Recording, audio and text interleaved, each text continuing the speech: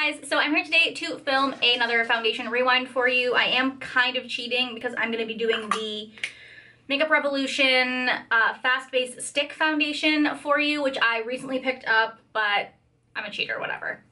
Um, before I get started, please subscribe to my channel. I upload every Tuesday and Thursday. My news resolution is to be a better YouTuber, so I'm trying to commit to that. I also should have a review on the Soraya Jade Cosmetics coming up soon, or before this. Can't decide what I'm gonna do first, but I, I am gonna film this one tomorrow. So uh, this is the Makeup Revolution Fast Base Stick Foundation. I picked this up off Beauty Bay. Uh, Beauty Bay ships to Canada for free shipping over $60, which isn't bad. So I picked up this and I also picked up the Revolution Conceal and Define Concealer. Uh, this here is the swatch of the stick foundation in the shade F4. This is the Makeup Revolution stick foundation in the shade 115. So as you can see, they're very similar. Makeup Revolution, or Makeup Forever is a little bit lighter, but Makeup Revolution is more pink toned, but once blended out, they're gonna be the fucking same. I just wanna pull up the website and show you guys or read what it's supposed to be. It literally just says this easy to apply stick formula melts into skin, blending seamlessly to leave a fresh and dewy finish, which is right up my alley. Swipe on, blend it with fingers, a beauty sponge, or your favorite foundation brush, and that's literally it. F4 is described as light skin tones with neutral undertones. I definitely think it's kind of pink toned, but like, it's fine.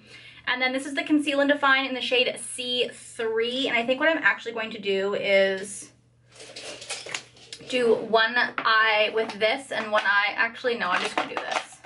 But I am gonna swatch the Tarte Shape Tape for it for you so you guys can see that.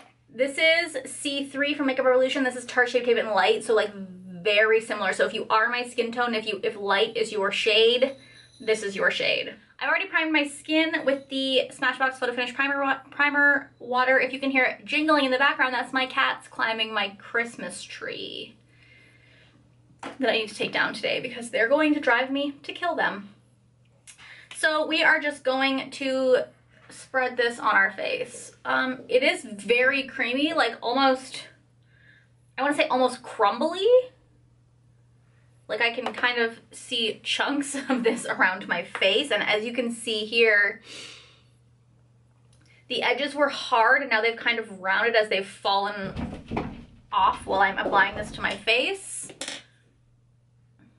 I mean, that looks good enough. And I'm just going to use a beauty blender because I'm just a beauty blender ass bitch. I'm not, I'm not sorry for it.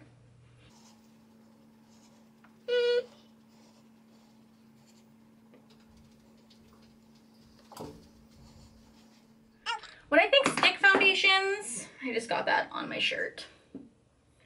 Cool. I think full coverage and this is, look at this. This is like super glowy. I feel very glowy, but I feel like I got literally no coverage. So we're gonna do a complete second layer. Like, see, can you see it crumbling off here? Which is kind of weird. I'm just gonna smudge that on my own face. So let's see what happens with two layers. I just like, I want coverage. I don't and I'm not going to apologize for it. I will say I probably would have gotten more coverage with the with a brush, but then it also wouldn't have been as glowy. And again, I always use a sponge, so I'm not going to change the way I apply a foundation just because it's not working for me. I would just not use it, if I'm being honest. Okay, so I will say, I'm super fucking glowy and it's applying like weird around my mouth. That's better. Okay, so this is what it looks like on my skin. Um, I would call this a medium buildable foundation. It does definitely feel fuller now, but I also kind of feel like it's almost sitting on top of my skin. Let me zoom you in farther. So you can see it's super glowy, but like, I don't know, there's just not a lot of coverage happening. And like, I just feel like it's settling into my pores and just kind of sitting on my face. So I'm going to use the Conceal and Define Concealer now. Again, I'm in the shade C3. Um, it definitely is a thinner formula than Tarte Shape Tape.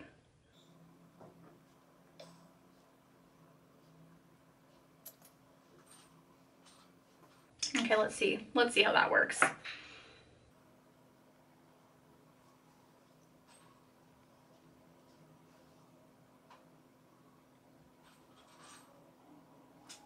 Okay. Anyone that said this was a dupe for Tarte Shape Tape lied to your face. Because this has no coverage. I mean, not no coverage, but it's, like, it's not a bad concealer, but it's, it's not the kind of coverage that I get from Tarte Shape Tape. I'm going to put a little bit more right in the hollow. Oh, it's weird. Okay, so when I first blend it out, it feels like nothing's happening, but then it's almost like when it settles into the skin, like more coverage appears out of nowhere. I also feel like it's oxidizing a little bit, which is fine because it was a little light. So again, we'll zoom. So this is what it looks like Isn't that a cute look for my eyeballs if I just look up? I mean, it's okay, but it's nothing life-changing. I'm gonna set that with my RCMA no color powder and a beauty sponge, which is how I set every single concealer I own. Do you hear my cats being fucking cares? Bet you do, because I fucking do.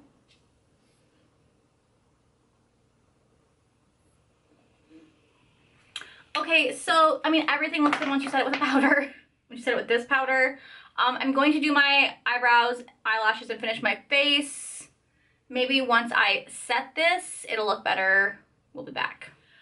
Okay, so this is the finished look. I'm wearing uh, Benefit Dallas Blush Infinite Bronzer on today because I want to show the foundation. Lips are Soraya Jade Cosmetics in Rebound. Loving it. Um, on my eyes today, I'm wearing the Morphe 39A palette, which I love, and I'm only using two shades. How magical is that? Um, I set my face with Mac Mineralize Skin Finish Natural because this did feel really tacky still after a few minutes, and so I just felt like I need to set it. And I also set my face at the end with MAC Fix Plus and Urban Decay All-Nighter Setting Spray. Here's my thing. Remember when I was like, do I like this? I don't know. Well, now I like it.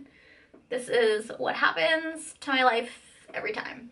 I'm always like, when I apply foundation, I don't know if I like it, but once I set it, put the rest of my face on, I'm like, ooh, it's kind of cute. So let me give you a zoom. So as you can see, even once it's set, it still looks very dewy. I'm getting some decent coverage. Again, I wouldn't call it full coverage, but it doesn't claim to be full coverage. It doesn't really have any claims. Um, you can see it's settling into the fine lines in my forehead, but hi, if you're new here, every foundation does that to me. I need Botox or filler or something, but like also to the lottery. So yeah, this is what it looks like and I don't hate it. So I'm not mad about this foundation. Um, You get 6.2 grams or 0.218 ounces of this. And I just want to check how much you get in the Makeup Forever stick. You get 0.44 ounces or 12.5 grams. So you're getting half of what you're getting in this in this. And this one is going to run you, well, this is $9 on make Beauty Bay, but right now it's showing up as 540 on Beauty Bay, so I'm not sure if it's a sale or it also comes in, it looks like 18 shades on the Beauty Bay website, but I believe there's more on the Makeup Revolution website, because I remember when this came out, everyone was excited that it was in lots of shades, so overall, I don't hate this. I like the foundation right now more than I like the concealer. The concealer is just okay. It's definitely no Tarte Shape Tape, and I'm throwing things around It's definitely no Tarte Shape Tape. And again, you get way less in this than you do in Tarte Shape Tape as well because Tarte Shape Tape is huge enormous. So it is now, whoa, I'm throwing everything around. It's 2.03 p.m. I'm to call the check-in time 1.45 because I tried to record this already 10 minutes ago and I wasn't recording. and I finished my foundation around 1.45. Got a late start today, so I will probably be doing only like an eight hour wear test because your girl is old and goes to bed early. So I'll be back in about four or five hours to do my first check-in and see how this baby lasts. Okay, so it is 6.54, so this has been on for five hours so far. I'm tired already. Like, I want to take my makeup off, but I'm powering through. Um, and it's like in my mirror over here. Uh, the chin is looking glowy. The forehead is looking glowy still. I mean, everything kind of looks the same. I am getting some settling in my dimple here and also in like this line above my lip and a little bit in my forehead. So I can tell that it's kind of starting to separate and by eight hours, I don't think it's to look great, but maybe it'll just like maintain this level of disintegration, which I wouldn't be mad about. Let me zoom. So as you can see, most of the coverage is still on my chin. I think if you are oily skinned, this is gonna make it greasy, I'm just being honest. Uh, cheeks, pretty much look the same. It's like a, it looks a little cakey on my upper lip. A lot of it has rubbed off. I ate a burrito bowl for dinner and I put too much hot sauce in it and I'm really white. Um, it's a little cakey in between my brows and my forehead hasn't really changed much. It hasn't settled any more than before. So I mean, for five hours, like I'm not mad about it. Overall, for five hours, this isn't a bad check-in by any means. I mean, I still got the glow. It's a little tacky still. Like I almost feel like kind of greasy, which is weird for me because I don't get greasy. Um, like in between my forehead, like part of me feels like some parts look cakey and some parts look greasy. So I'm not sure how I would counteract like that. I was like, originally I was like, well, I'll use a hydrating primer next time, but then I think I might look too greasy. I don't know. But like, again, overall, it's not a bad stick foundation, but it's not my favorite. So again, it's about 6.45 right now, so I'll be back hopefully in another four hours to do a final check-in and take this off. Okay, it is 9.55. My phone isn't in here, so like, just trust a girl. So this has been on for eight hours and I want to put a face mask on right now so bad. So we are going to be done here. Oh, I just smudged my lipstick. Dreams. Um, I, I don't know. I think this is a good foundation for like short term. Like this is not like a wear every day at work kind of foundation. Like it looks really cakey around here and I can't tell if it's my concealer or my foundation. Also, like, where is my nose? Where's my nose? Um, it looks a little, like, almost oily on my nose. Like, do you see how that's, like, wet? Um, a little separated everywhere. Let me zoom. So, as you can see, it's a little cakey around my chin area and separated not looking great here. My cheeks, I mean, always look fine. Nothing happens. Although there's some removed here, but I think I was resting my hand there, so it's not really foundation's fault. Also, like, I don't know what happened here, but like, can you see how cakey and like weird it is there? I don't think it's the concealer because like even over here where I had to set the concealer twice, like it's still pretty in place. Honestly, that light is so bright I want to die right now. Uh, still looking kind of makeupy in the forehead and uh, between my brow area. Just overall, not loving it. It's hard for me to fully judge this foundation without knowing what it's supposed to be. Like there's no coverage level or wear level that I'm supposed to be comparing it to. But in the terms, in like terms of foundations, I didn't think it had great coverage on first application. You had to apply two layers, which seemed to make it look more makeupy. It's separated. It like it's just the kind of makeup that just feels like if I touch my face, like it's just coming off at this point, and like that's not great staying power. And I did set my face today, so this might be an okay like running errands foundation, but I probably wouldn't wear it for anything else. And you don't get very much product in here. Like this is the entire container. Like you get way more in the Makeup Forever and obviously the Makeup Forever is more expensive, but I think there are better drugstore foundations than this. I've heard that the uh, ColourPop Stick foundation is really good. I actually didn't know they had one until I watched Kathleen Light's favorites videos recently, so I just like, I'm not wowed by it. So that is my video. I hope you guys enjoyed this. Uh, let me know down below if there's any foundations you think I should check out. I definitely am eyeing the Morphe one I definitely want to pick it up. They actually opened a Morphe store near my house, so I might go on launch day. And try and pick it up, but it sounds like a disaster. So thank you guys for watching. Subscribe to my channel, follow me on Instagram, and I will talk to you guys next time. Bye.